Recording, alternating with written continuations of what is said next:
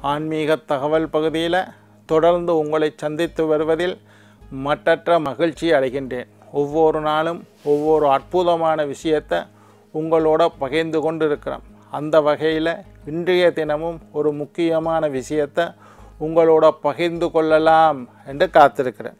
இன்றைய தினம் உடல் ஊனமற்றவர்கள் உடல் ஊனமுற்றவர்கள் அந்த மாதிரி இருக்கக்கூடியவர்கள் திருமணத்தில் தடையாக இருந்தால் அதாவது உடல் ஊனமற்றதனால் ஊனமுற்றதனால் எங்களுடைய திருமணம் தடையாக இருந்தால் அவர்கள் என்ன பரிகாரம் செய்ய வேண்டும்?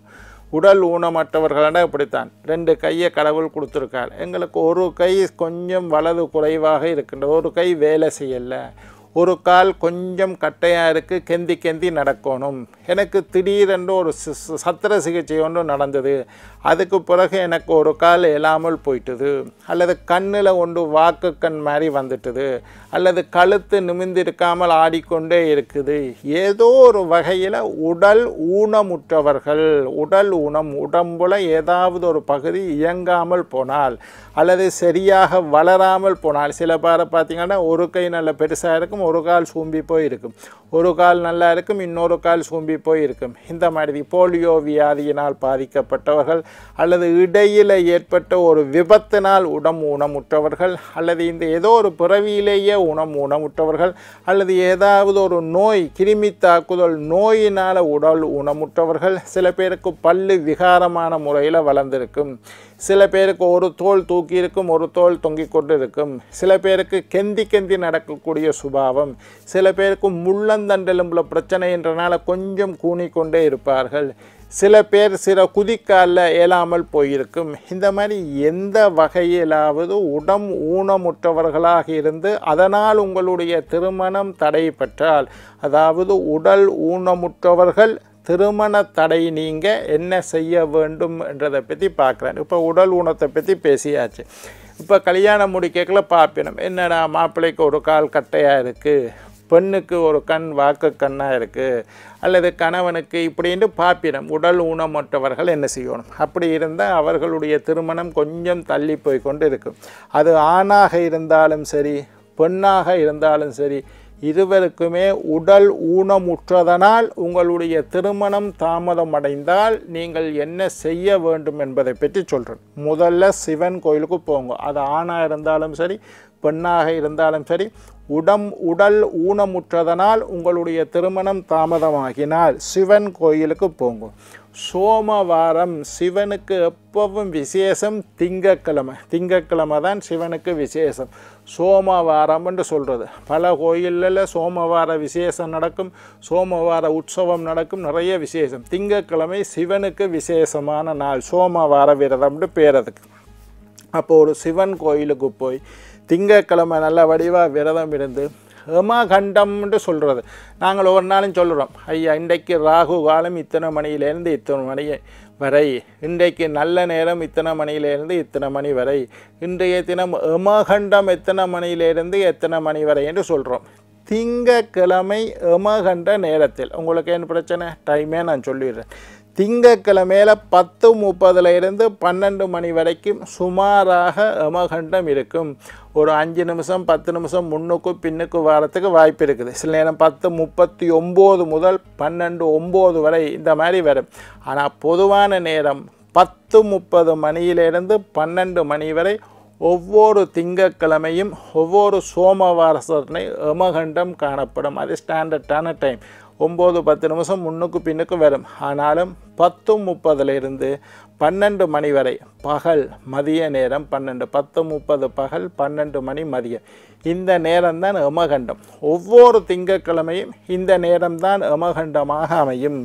அப்போ உடல் ஊனமற்றவர்கள் ஊனமுற்றவர்கள் தங்களுடைய உடல் ஊனமுற்றதனால் திருமணத்தில் தாமதம் ஏற்ப ஏற்படக்கூடியவர்கள் திங்கக்கிழமையன்று சிவன் கோயிலில் போய் எமகண்ட நேரம் என்று சொல்லக்கூடிய பத்து முப்பது மணி முதல் பன்னெண்டு மணி வரை உள்ள காலத்தில் சிவனை மனதார வழிபட்டு பயத்தோட பக்தியோட நம்பிக்கையோட நான் இப்போவும் அடிக்கடி இந்த மூன்று வார்த்தை சொல்கிறது முதல்ல இறைவனுக்கு பயம் இருக்கணும். அப்படி இருந்தால் பக்தி வரும். அப்படி இருந்தால் நம்பிக்கை ஏற்படும்.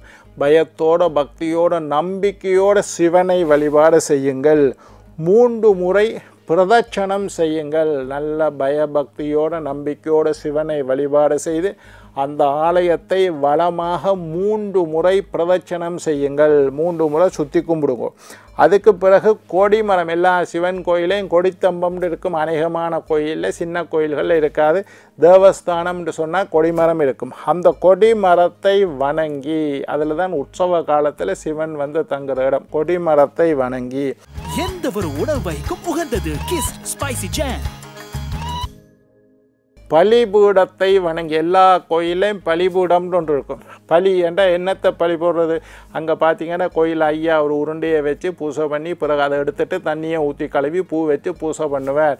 அது வந்து பலிபீடம் அங்கே பலி போடப்படுவது எதுவென்றால் நாங்கள் செய்த பாவங்களை அங்கே பலியிட வேண்டும் என்பதற்காகத்தான் எல்லா கோயிலையும் பலிபீடம் வைத்திருக்கின்றார்கள். எல்லாரும் பலிபீடத்துக்கு முன்னுக்கு நின்று எங்களுடைய பாவங்களை எல்லாம் நான் பலியிடுகின்றேன். எல்லா பாவங்களில் இருந்தும் எங்களை காப்பாற்ற வேண்டும். எங்களுடைய பாவங்கள் சாபங்கள் தோஷங்கள் நீங்க வேண்டும். இதெல்லாத்தையும் பலியிடுறதான் பலிபீடம். எல்லா ஆலயத்திலையும் இருக்குது. இதை நீங்கள் தெரியாமல் இருந்து பிரியோசனம் ஒரு முறை நான் உங்களுக்கு சொல்லித்தரேன் ஆலய வழிபாட்டை பற்றி இன்றைக்கு என்ன தெரிய வரும்டா பலிபீடத்துக்கு முன்னுக்கு பலிபீடத்திற்கு முன்னுக்கு நின்று கொண்டு என்னுடைய பாபங்களை எல்லாம் நான் பலியிடுகின்றேன். என்னை இந்த பாபங்களில் இருந்து காப்பாற்றி நீண்டாயுள் நிறைந்த ஆரோக்கியம் நீங்காத செல்வத்தோடு என்னை வாழ வைக்க வேண்டும் என்று சிவபெருமானை நீங்கள் வணங்க வேண்டும். இப்போ பலிபூடத்தில் கொடிமரத்தை வணங்கிட்டு அடுத்தது பலிபூடம். அதுக்கு பிறகு பலிபூடத்துக்கு முன்னுக்கு ஒரு நந்தி இருப்பேன் ஒவ்வொரு கோயிலுக்கு ஏற்ப. பிள்ளையார் கோயில அங்கே மூசிகம் எலி இருப்பேன் முருகன் கோயிலாக அங்கே ம மயில் இருக்கும். அதே மாதிரி சிவன் கோயிலில் நந்தி இருப்பார். அதாவது காளை மாடு நந்தி இருப்பார். அந்த நந்தியில் வாளை பிடிச்சு கொண்டு அந்த நந்தி இருக்கும். அந்த நந்தியினுடைய வாளை தொட்டுக்கொண்டு அல்லது தொடுவதாக மனசில் நினைத்து கொண்டு அந்த வாளை பார்த்து கொண்டு ஓம் நமச்சிவாய ஓம் நமச்சிவாய ஓம் நமச்சிவாய என்று ஒம்பது முறை நீங்கள் சொல்ல வேண்டும். சிவன் கோயிலுக்கு போகணும் சிவனை கும்பிடணும் மூன்று தரம் பிரதட்சணம் பண்ணணும் கொடிமரத்தை வணங்கணும் பலிபீடத்தில் பாவங்களை பலியிட வேண்டும். பலிபீடத்துக்கு முன்னுக்கு இருக்கிற நந்தி பகவானினுடைய வாளை பிடிச்சு கொண்டு அல்லது வாளை பார்த்து சில ஆலயங்களில் தொடுறதுக்கு அனுமதி இல்லை. அதனால் வாளை பார்த்து கொண்டு ஒம்பது முறை ஓம் நமச்சிவாய் ஓம் நமச்சிவாய் ஓம் நமச்சிவாயன்னு ஒம்பது முறை நீங்கள் சொல்லணும். அதுக்கு பிறகு நந்தியினுடைய காது நீங்கள் தொடத்தவில்லை நந்தியோட காதுக்கு கிட்ட போய் ரகசியம் சொல்கிற மாதிரி எனக்கு திருமணம் நடக்க வேண்டும் எனக்கு திருமணம் நடக்க வேண்டும் எனக்கு திருமணம் நடக்க வேண்டும்னு பயத்தோட பக்தியோட நம்பிக்கையோட ஒம்பது முறை நீங்கள் சொல்ல வேண்டும். இந்த பரிகாரத்தை நீங்கள் செய்து வந்தால் உங்களுக்கு ஊனம் உற்றதினால் ஏற்பட்ட திருமண தடை நீங்கி உங்களுக்குண்டு ஒரு பெண் அமையும் உங்களுக்குண்டு ஒரு மாப்பிள்ளை அமையும். மிக விரைவாக உங்களுக்கு திருமணம் நடக்கும். ஆழமாக புரிந்து கொள்ளுங்கள் நண்பர்களே. சிவன் கோயிலுக்கு போங்கோ. மூன்று தரம் கோயிலை சு எல்லாம் எழுதி வச்சுக்கணும் மூன்று தரம் கோயிலை சுத்துங்கோ கொடிமரத்துக்கு கிட்ட நின்று சிவனை வணங்குங்கோ. பலிபீடத்தில் போய் உங்களுடைய பாவங்களை பலியிடுங்கள். பிறகு நந்தியம் பகவான் இருப்பார். நந்தியில் வாழை பார்த்து கொண்டு ஓம் நமச்சிவாய என்று ஒம்பது முறை சொல்லுங்க. அதுக்கு கூடவும் சொல்லுங்க. எத்தனை தரம் நமச்சிவாய சொல்கிறீங்களோ அவ்வளவுத்துக்கும் நல்லது.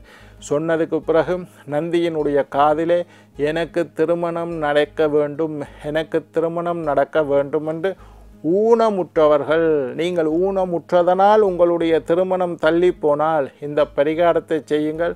கண்டிப்பாக உங்களுக்கு நல்ல வரன் படித்த பண்பான குலம் கோத்திரம் பெருமையுள்ள கௌரவமான குடும்பத்தில் இருந்து நல்ல வரன் அமைகிற பலன் உங்களுக்கு கிடைக்கும். மிக விரைவாக உங்களுக்கு திருமணம் நடக்கும். சரி ஒரு விஷயம் சொல்லிட்டேன்.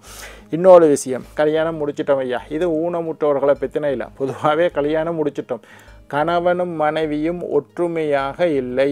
எங்களுக்கு திருமணம் முடிஞ்சது ஆனாலும் நாங்கள் ஒற்றுமையாக இல்லை. எங்களுக்குள்ள சண்டை வருது பிரிவு வருது. இந்த மாதிரி இருக்கக்கூடியவர்கள் திருமணமான நாள் முதல் வரும் பிரதோஷத்து அன்றைக்கு உங்களுக்கு வெட்டிங் டேட் அனி வெட்டிங் அனிவர்சரி என்று கொண்டாடுவீங்க. திருமணமான நாள் ஒரு ஒரு வருஷமும் வரும். அந்த திருமணமான நாள் வந்ததுக்கு பிறகு வரக்கூடிய அடுத்த பிர பிரதோஷ விரதம். விளங்கி கொள்ளுங்க வடிவ உங்களுக்கு கல்யாணம் முடிக்கிறீங்கள் கல்யாணம் முடித்த தினம் ஒவ்வொரு வருஷமும் வந்து கொண்டே இருக்கும்.